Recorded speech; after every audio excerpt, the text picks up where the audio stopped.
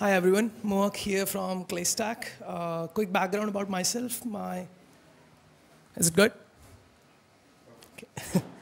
okay. Quick background about myself. My background is in computer science. Uh, have been in crypto for quite a few years. Um, I run liquid staking protocol called ClayStack. Prior to this, I was running a staking as a service company with around $200 million uh, capital and delegations. Before that, that, I was running a Web3 fund. Um, we launched uh, on Polygon last year.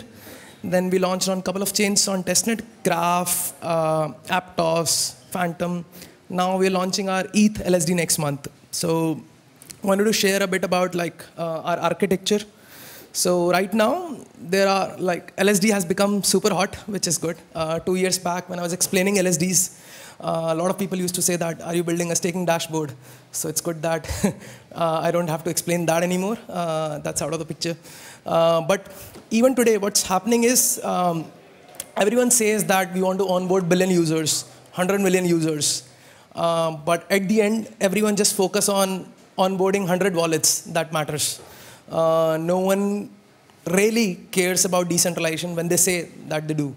Um, because it's not in a lot of protocol interest to actually care about decentralization. Uh, you get like scalability issues and whatnot.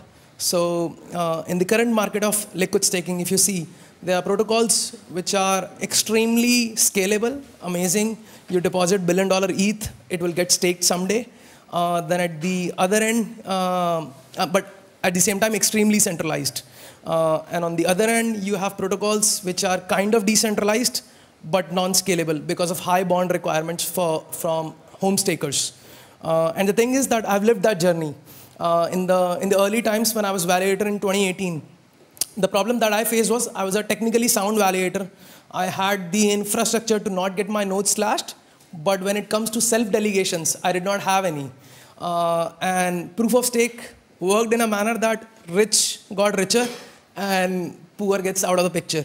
So uh, the problem I was facing was like, what do I do? Like no one is delegating to me. Uh, and everyone is like delegating more and more to the bigger guys who are becoming even more bigger. Uh, and that's what's happening now with Ethereum validators, which is even more difficult because it's not delegated proof of stake. Um, so what we are doing is uh, we are building an architecture which is DVT-based modular architecture comprises of multiple DVTs uh, that we can build upon, uh, SSV, OBOL. Uh, and the beauty is that the clusters are combination of professional stakers as well as home stakers. So if any sanctions come on professional validators, then the home stakers can take over.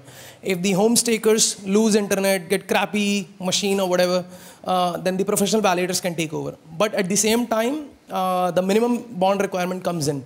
So we have lower bond requirement than anyone else. Uh, currently it's 4 ETH. We are trying to bring it lower uh, because of high fault tolerance of DVT. But at the same time, if you think about it, for home stakers, even 4 ETH is smaller.